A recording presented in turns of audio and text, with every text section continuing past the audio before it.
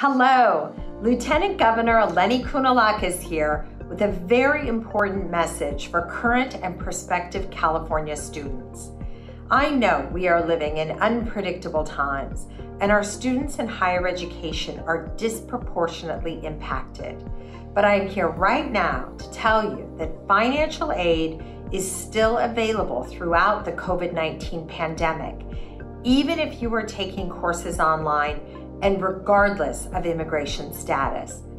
We know what is possible when our students have access to higher education. As the proud daughter of an immigrant father, I too am a product of our state's public higher education system and the California dream.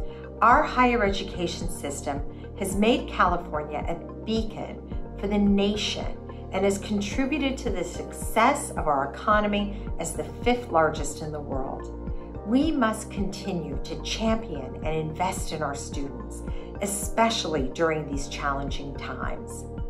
The free application for federal student aid, also known as the FAFSA, the California DREAM Act application, and the Chafee Grant application for foster youth are all open starting October 1st, 2020, and will remain open until March 2nd, 2021.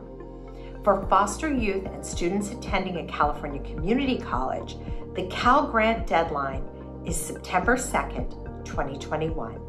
So if you, a member of your family, or a friend is pursuing higher education, make sure to visit csac.ca.gov